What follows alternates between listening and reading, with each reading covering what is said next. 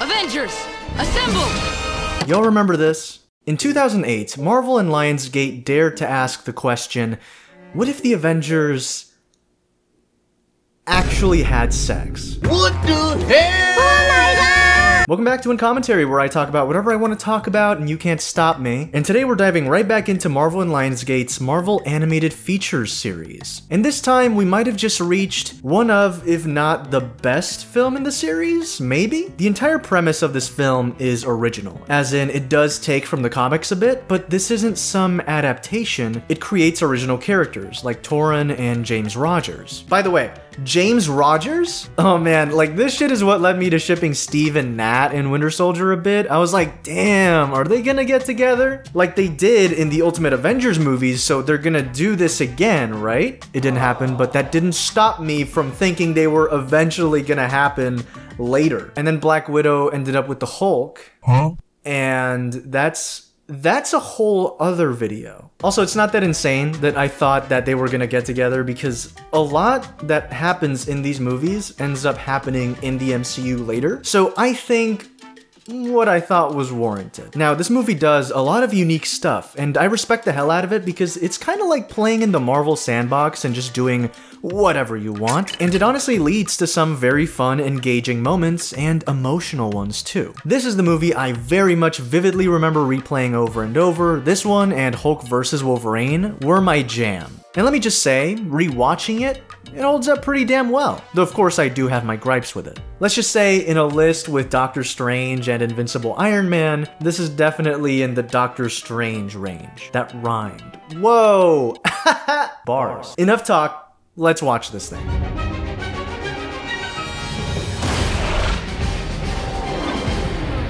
The movie begins with Tony Stark, voiced by the incredible Tom Kane, telling a story to these kids the story of the Avengers. How they were Earth's mightiest heroes, how they married and had children, and how they eventually fell to Ultron, with their children being kept safe away from the machine. Now, that's just a super dark children's story, but the best part is that the kids are like, Yo, Tony, tell it again! Can we hear it again?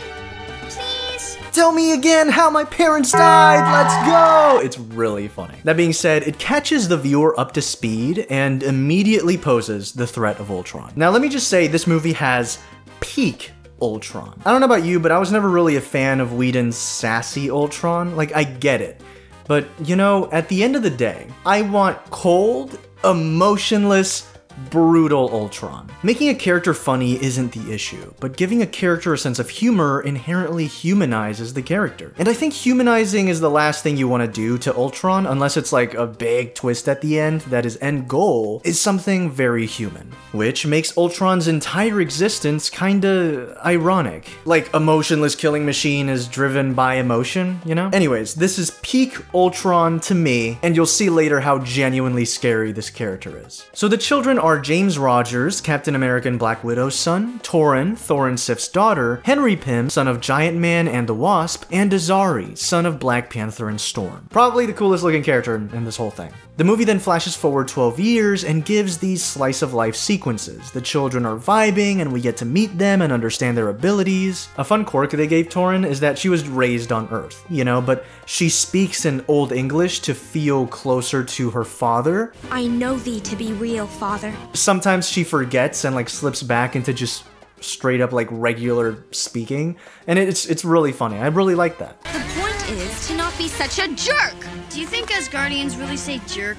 Mm-hmm. there's lots of little things this movie does to endear us to these characters except one fucking character and that's Pym fuck you Pym Pym is so annoying. He's not that annoying but like he, he's the youngest character and he's just kind of whiny and it really gets on my nerves No fair, Zari. You didn't give me enough of a head start. Also, for some reason, they decided to make him a boy when in the concept art, it was clearly supposed to be a girl and they just changed it last minute. I don't know why they did that. That makes Torunn the only girl in the Avengers. It feels like a boys club for like the whole movie and it's like, yeah, maybe maybe throw in another girl just to like change it up a little bit.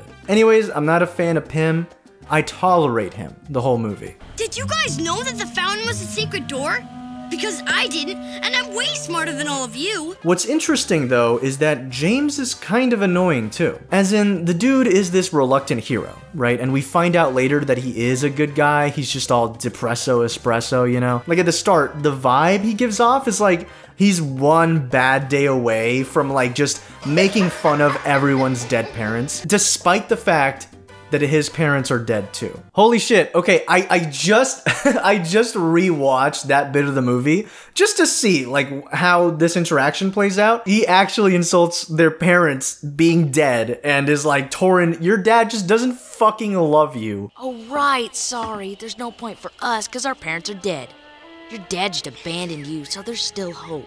That's awesome. I can't, I can't believe they actually did that though. I wrote that in like that's the vibe he gives off. But the dude straight up is like fuck you and your parents. Holy shit. So the plot really gets moving once the vision appears and freaks everyone out. Tony takes the vision to his man cave and tell the kids to fuck off. But of course, they secretly follow. One thing I really enjoy about this movie is that not everyone is like always on the same page. They disagree and bicker, but will still work together. They dead ass just go against authority figures like half the movie, and it's just really entertaining, you know? It keeps things fun, and like as a kid watching this movie, I'm like, yeah. Fuck what the adults say. I'm gonna do my own thing. Sadly though, James should not have done his own thing along with the rest of his siblings because they straight up activate just like all the Ultron bots and alert Ultron of their location. Let me show you Ultron's first appearance. Energy source detection. Location, Arctic Circle. Energy analysis matches fugitive designation. Iron Man. Finally. That is the coldest shit I've ever seen. Like that that's the Ultron I love. No emotion, just cold as hell. So, so cool. So Ultron reprograms the Iron Avengers and crashes into the Avengers Refuge, which is basically like this big dome in the Arctic, and catches everyone by surprise. So the kids escape with the Vision on the Quinjet. Meanwhile, Iron Man suits up and takes on Ultron. Now, two things.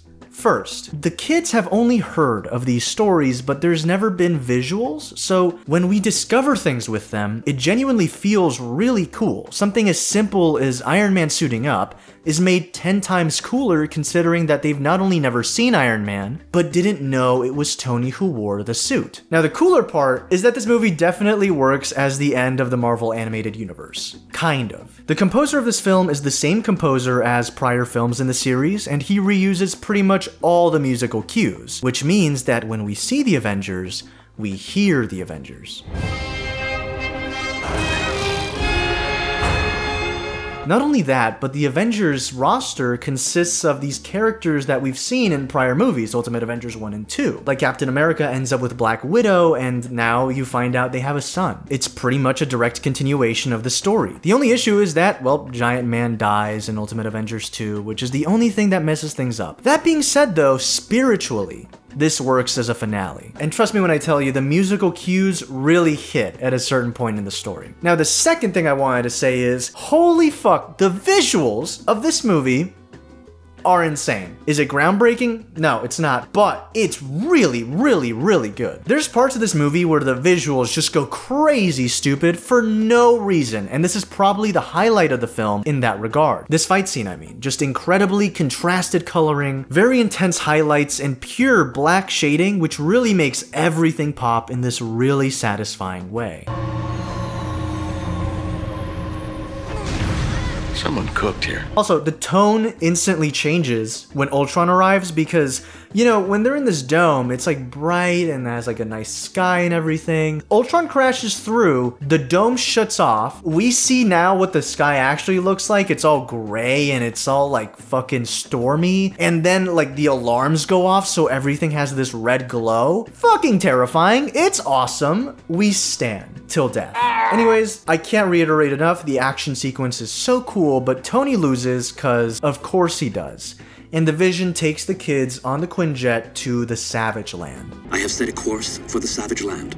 The Savage Land? That sounds horrible! The movie mentions Jocasta, the Savage Land, uh, the Quinjet's how they get around, and stuff like this may seem obvious and like no duh in a post MCU world, but prior to that, before that, you know, stuff like this was really cool. I forgot to mention, make sure to check out Interstellar Ranger Commence. It's Browntable's original animated series.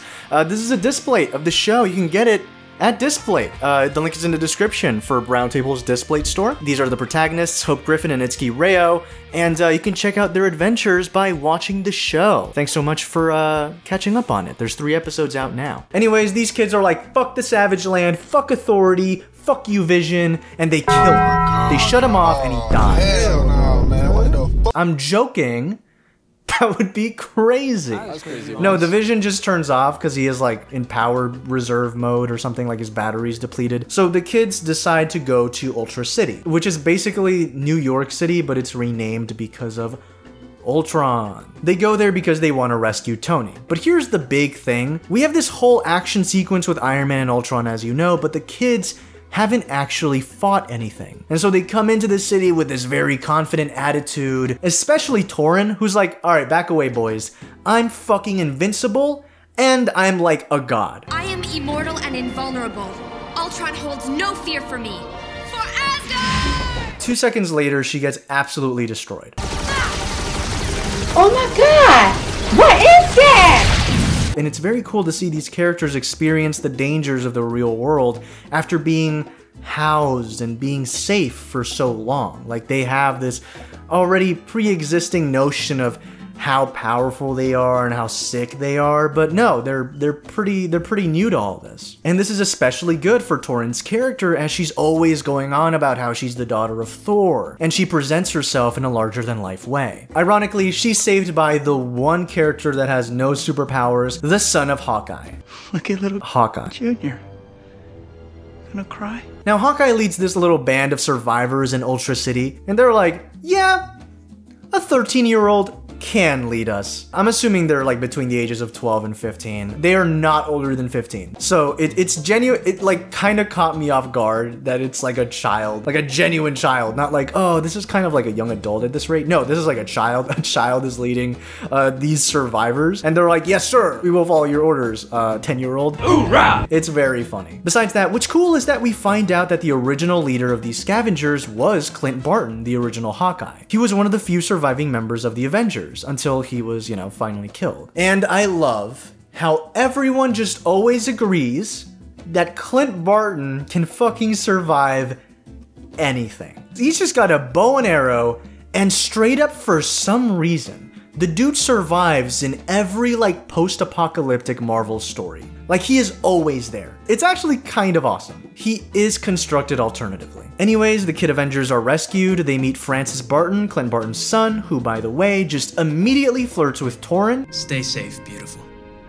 He's got Riz to the max, and they go on their way to rescue Tony to the dismay of Francis. Francis Barton, Hawkeye. Just, I'm just reiterating Francis because Francis is such a such a name that I don't know if anyone will associate that with Hawkeye. Yes, Francis Francis is Hawkeye, I'm gonna stop now. So before we get to this really big scene that I really enjoy, I wanna talk about how cool these characters are becoming. Like I said, they're essentially family, they bicker like one, but they also work together. And when they work together, the movie really shines. And we find out slowly that James is actually a solid leader. Thing is, he's just disinterested in training and making an effort in strengthening their relationships because he feels like his life is just going in circles, and maybe a part of him feels no connection to his father but he does long for one. You can tell he cares because when he sees his robot dad, he's like, Stop!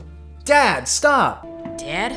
Can you hear me? And it's like, Oh, you you called the robot dad. Daddy? Do I look? So he has wants, but he has to let go of the past and focus on the future, which is the point of this upcoming scene. Now they reach Ultron's trophy room. This scene is crazy because you see that they Ultron straight up killed everybody. Like it's not just the Avengers, it's like you can see Falcon's wings, like it's like every superhero involved ever is dead. The saddest thing ever is that they play Captain America's theme when we see his trophy case.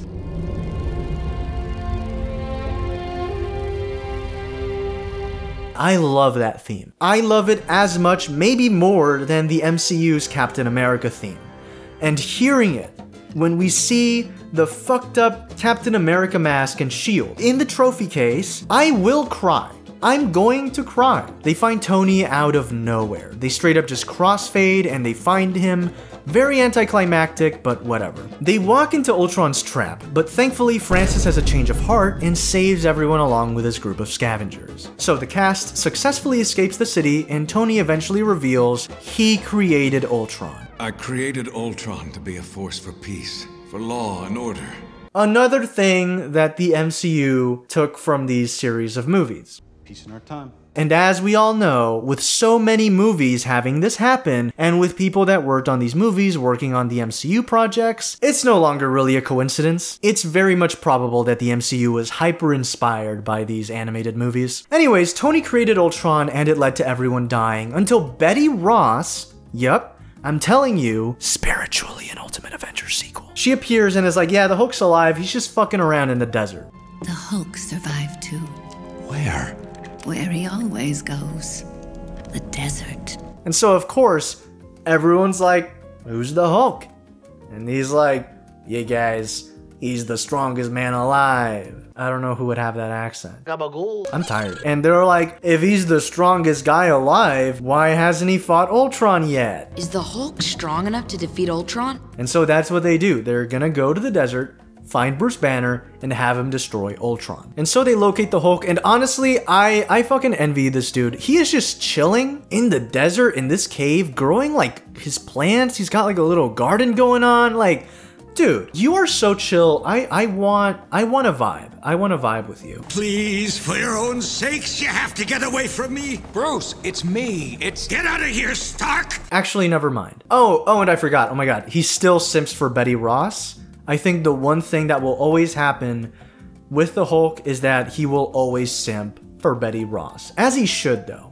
She kinda bad. And at this point, James has not only recognized the events of the past, but he's recognized how important they are. Like, they, as the Avengers' children, are. Like, they've been told stories of who their parents are and who they're meant to be, but he never took it seriously because, I mean, it never felt serious. He has no real visual connection to any of these stories. So once he recognizes what happened and how it's affected not only the people he loves, but the world, he goes sicko mode. And by sicko mode, I mean he gets his shit together. We owe it to our parents.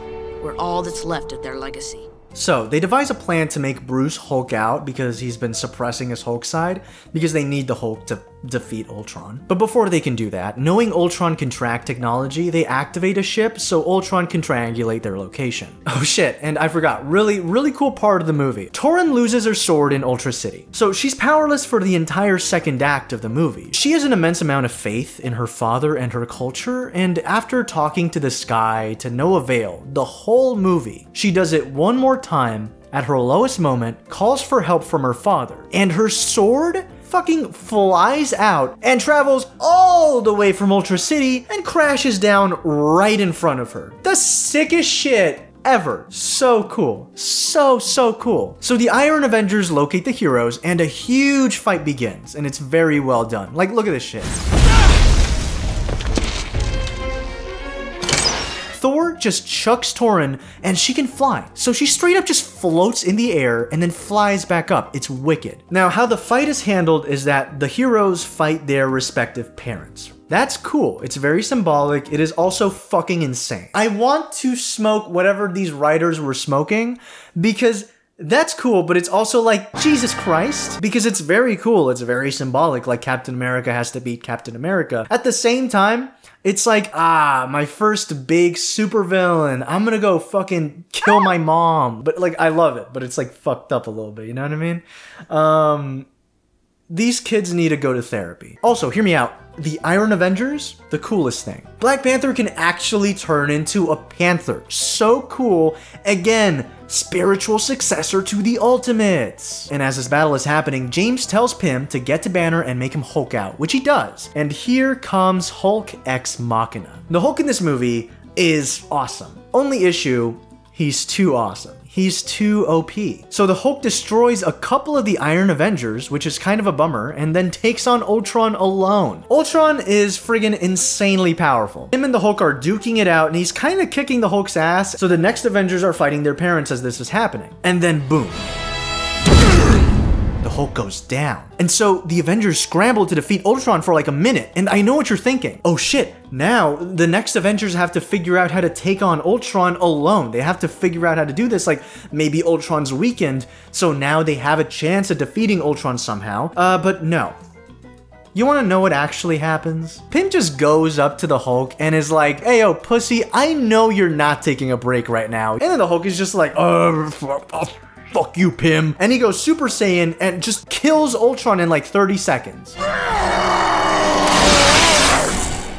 He defeats Ultron on his own. Like, there is no big team up battle against Ultron. It's just it's just Hulk defeats Ultron alone and Ultron's done. That's it. Like dude, can we at least have the next Avengers help out something? Maybe the Hulk is doing most of the damage. The other characters have to do something, but they they really don't they don't even leave a mark on this guy. And deadass, that's straight up how the main conflict ends and Look, the journey was cool, but this part of the ending is kind of weak. And it's not like in the Avengers when Hulk beats up Loki and it's like, hey, he did that essentially to Ultron. But no, Loki and the Avengers by the end is not the main obstacle. The main obstacle in the Avengers at the end is the Chitauri invasion and the portal and the nuke. In this movie, Ultron himself is the final obstacle. That's it. It's just Ultron. And this dude just straight up gets beaten up by the Hulk and is ripped in half. And it's like, it's a little underwhelming, but thankfully we do get a very cool resolution because Ultron will self-repair, and so Torunn's like, no, I'm not. No, you're not. Who? Ult Ultron? Who? I'm so rusty. I haven't made a video in like a month. This is really hard. It is. It is really hard to ad lib. I, I I haven't like gotten the. I haven't gotten it back yet. I don't think. Anyways, she fucking yeets Ultron into space. She flies out into the atmosphere, throws him, and just it goes so hard. But she's not invincible, so she starts choking, freezing, and dying. And it's a bummer but of course, they're not gonna kill her. She meets her dad, and Thor's like warm glow appears. It's so cool, and he's like, Daughter, you're so fucking sick. You have done me proud, Torunn. And at this moment, I'm feeling very emotional because this is so sweet, but I am having one thought, and that is, where the fuck have you been, bro? You're alive, you let the earth die, dude? He's like, oh, the earth, ah, I'm like king though. Like, I kind of I'm like busy. Like, uh, can we like rain check the death of my friends real quick? In my head, like, he just let the Avengers die. Like, he can just Bifrost to earth, right? Am I crazy? Dude, why would you do that? Like, it's an incredibly heartwarming moment because he's like, I want you to learn what it means to be human because humanity is a powerful thing. You learned what it meant to be human. That is why I left you with the Avengers. But at the same time, you left humanity to die. Still, though, it's a great closer to Torunn's journey, and it's really sweet. And uh, he guides her back to Earth after she says, Yeah, I can't go with you to Asgard because Earth is my home. My home is with my family on Earth. When I was little, I thought this was the sickest shit. Rewatching the movie, it's still the sickest shit. Torunn comes back, absolutely dripped out in gold. Fucking head to toe gold, dude. She looks so fucking badass. I thought it was the sickest thing. I still think it's the sickest thing and we get a really cool ending. Francis Barton is like, yeah, uh, there's still like a bunch of robots in Ultra City that we have to fuck up. And then James says the iconic line Avengers, assemble! And that's it. The next generation of Avengers is here, and they're gonna kick ass and oh, I forgot to say, Hulk just kind of fucks off with Betty. I'm not joking. Like right after the battle, he's just like, Betty, let's get the fuck out of here. And then he just carries Betty and they, they fuck off. I don't know. I don't know how to feel about that.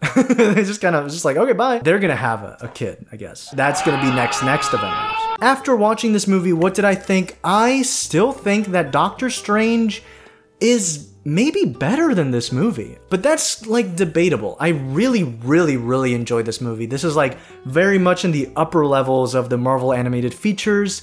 Um, and oh, man, it just took me back to my childhood, man. Like I remember as a kid, I wanted like Azari's powers, but I wanted to be like James, but I also had a crush on Torunn because like she's so fucking sick. I remember thinking Ultron was like the big Avengers bad. And he kind of is. He, he, kind of is. I was like, dude, I want to see Ultron in like a movie. Like this kind of Ultron, just like so scary and cold. The visual style of this film is one I genuinely really liked. I much prefer it to like the very realistic style of like say the Ultimate Avengers ones. So I really enjoyed this one. And again, I, I feel like I really connected with this one because like I was a kid and I connected because the main characters were kids. Not that only as a kid you can only connect with kid characters. I'm just saying that like it gave that perspective that I was like, oh, this is cool. I just really enjoyed it, man. I thought it was it was it was a good time. It's not perfect at all. It's not like a masterpiece, but it's very solid. All of these movies have been solid so far, and I'm so excited for the next one.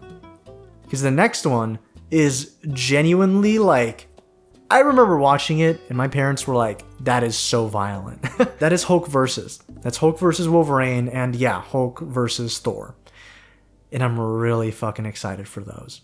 Alright everyone, make sure to check out Interstellar Ranger Commence, Browntable's original animated series. Three episodes are out, and the fourth one is on the way. Thanks so much, Derry Pope, for this art of jazz from the show. She looks absolutely awesome. I just, I love the lighting. I love that she's tinkering like she always does. And yeah, awesome. Thank you so, so much. Thanks so much, patrons, for supporting the channel. Y'all are awesome. And remember to like, subscribe, and turn on notifications to become a chair and sit at the table. Thanks so much for coming to the table, and I'll see you all next time.